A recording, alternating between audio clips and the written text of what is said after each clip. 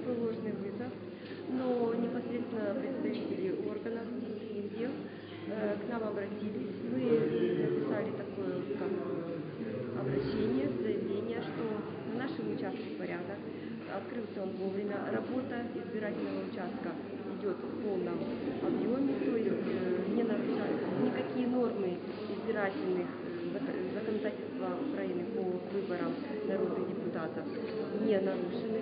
То есть все в норме и никаких э, таких подозрительных лиц, подозрительных предметов мы на участке не замечали. То есть также у нас присутствовала и группа от внутренних, от органов внутренних дел, то есть была проверка. Мое заявление и подтверждение было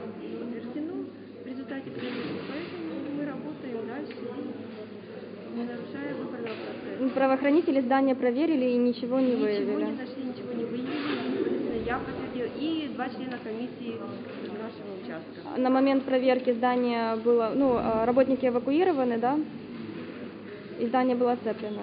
Да, здание было оцеплено, э, работников не эвакуировали, просто оцепили здание, прошла проверка, то есть пока временно никого не запускали из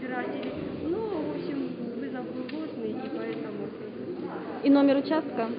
Номер участка 480 920.